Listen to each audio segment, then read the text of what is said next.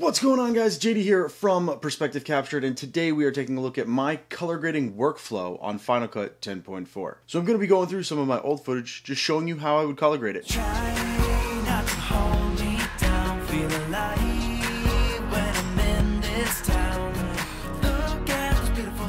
Alright, so before we get into this, I do know that there's multiple ways of color grading and we all have our own styles and we all think we're right.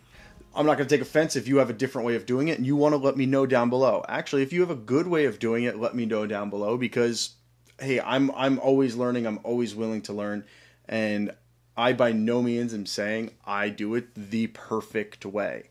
All right, so here we go. Here we are. We're in 10.4 and I'm, we're going to start with some DJI footage here.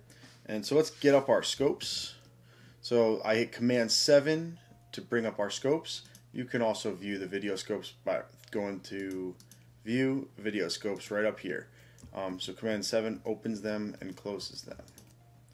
So I use the Luma, RGB Parade, and Vector Scope while I'm color grading. Now you can hit the button up here, or you can hit Command 6 to open up your color corrections. And the first thing we're going to do is we're going to add a color curves. I always start with color curves. So I'm gonna, first thing I'm going to do is bring down the blacks here and raise the highlights. Now I like to keep things separate, so this is the initial right here.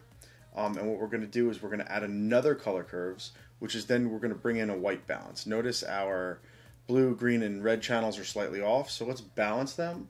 First thing I'm going to do is I'm going to bring up the reds to, whoop, a little too far. Now I'm going to drop the blues. Okay. For a general white balance, we've got a pretty good white balance going across across the board. All right, next thing I'm going to do is I'm going to go back to my color curves a little bit and just raise that just a little bit more. No, there we go. Right there. Um, this screen, the computer is seems to be a little bit hesitant to what I do, mainly because I'm probably screen recording and doing all of this at the same time. All right, so the next thing I'm going to do is add a color board. I like the simplicity of the color board for saturation. So in this particular image, I'm just going to boost the global saturation. Do we get a nice, pretty picture? Pretty much going through. All right, so this is this could be the end of it. I'm going to go one step further in this particular picture, and I'm going to go to the hue saturation curves. Um, the actual color of the water down here in Hawaii was definitely more green, as you can see around the boats here. Um, and the water out here stretched to be a little bit green as well. So I'm going to change that color. We could just click here, here, and then put one in the middle and change the color. What I'm going to do is I'm, I'm going to use the color picker real, real quick here. I'm just going to click somewhere in the middle. And that put our three points in the general area of the color I chose. So I'm going to now just go slightly up and bring it to a little bit more, put a little bit more green teal into our water here. Um, we could even bring this over a little bit more and bring it up. Something like that. Um, this is pretty close. I might play with it a little more. It also depends if I were to pull up um, a picture out of another camera, I would definitely try to match the color of the ocean here. Um, and this is where I would do that. I would spend a minute or two matching it up in this hue versus hue. So I'm going to consider this done for the purposes of this tutorial. I will be putting out at some point here, I will definitely be putting out a matching clips tutorial, but for the moment, we're going to end here. Here's the before, here's the after, and the before. Alright, so moving on to the next clip. This is another shot here in Hawaii, and we're going to essentially do the same thing.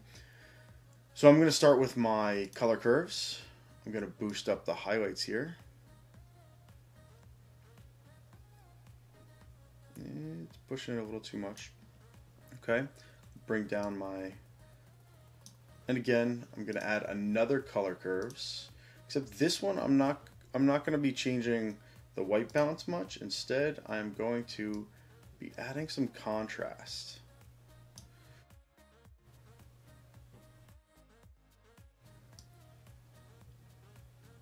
Okay.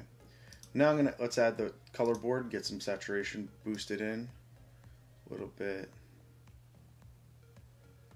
computer is definitely hating me right now with recording, screen recording and color grading. But anyway, so there we go. That's looking much better now. And finally, let's go to the hue saturation curves and do the same thing. We'll use the color picker again. Right there gives me my three points. And let's make it a little bit more teal. And there we go. Now here you can see the before, after. We can go back in if we want to reduce that that contrast a little bit, or we can add a lot more contrast if that's your style. Up to you, it depends on what your eyes like and what you are doing for your specific project. Going back, before, after. All right, so here's a clip I shot for a wedding. Um, I just I already cut it down to just this quick couple sec this quick two second clip.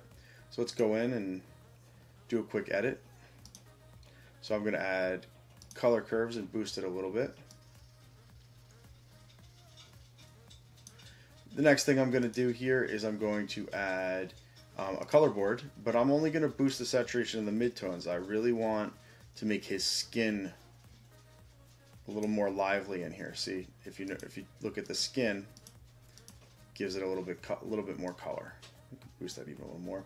All right, now going to I want I'm the next step I'm going to do in this particular image is I'm going to go back to curves and I'm going to add a lot of contrast. So let's boost this up here. I'm really going to bring this down. I'm liking somewhere right around there. And finally, I can do it in here. I can add a new curve. Let's add a new curve so I can show you what I'm doing here. Now I'm going to add a little bit of teal to this picture. I really think it makes his uh, suit and suit pants here look really pop and really come out. Just a little bit, adding a little teal to that, the dark area and on off. So there we go. So now going up to the effects. This is after and before. And that's about it. So this is the this is my general workflow for color correcting in 10.4. Now if you want to move layers around, you can do that. So if I, just for example,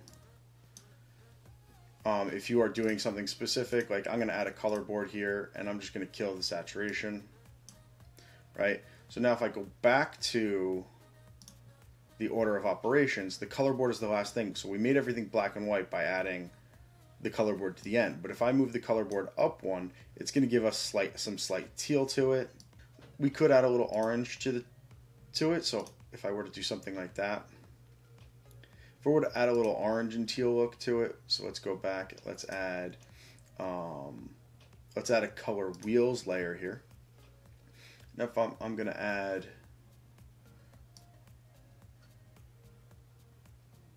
a midtones layer of orange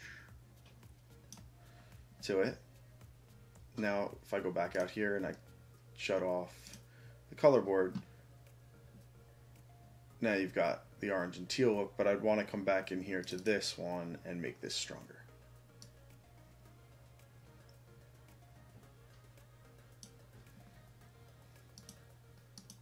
So there's an orange and teal kind of look. And in this case, we here's the before, here's the after. So that's just another look you could go with, another option. Oh, I'm even going to punch in on this. This is shot in 4K. I'm even going to punch in and let's give give a little bit of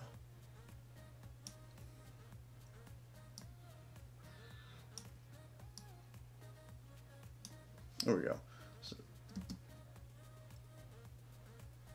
there we go.